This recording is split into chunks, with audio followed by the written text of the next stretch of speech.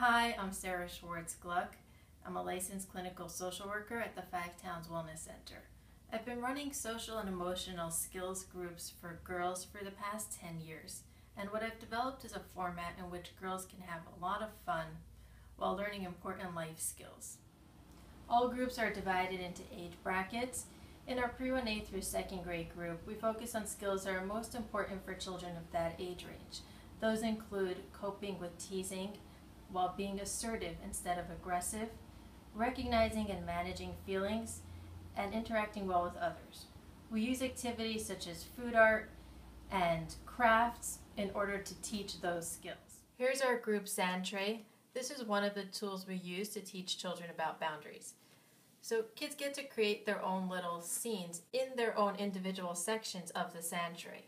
What happens is that situations will come up while we play. For example, one child might move some of her sand into somebody else's section.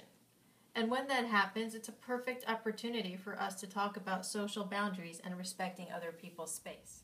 In our third and fourth grade groups, we focus on skills such as managing friendships, communicating well with others, recognizing thoughts and feelings, and resisting peer pressure. We use activities such as jewelry design, um, and girls get to use professional grade materials to learn about fashion and design while learning their skills. So they learn how to express themselves through color and through their own unique patterns. And they learn how to resist the pressure that others may put on them to fit a certain mold. And instead, they learn to be unique and to express their own voice. For 5th to 8th grade girls, we focus on skills such as confidence and building self esteem. And I also happen to get a lot of referrals in my private practice of girls who are bat mitzvah age because there can be so many challenges involved with attending bat mitzvahs, especially for a girl who has social problems or just growing up.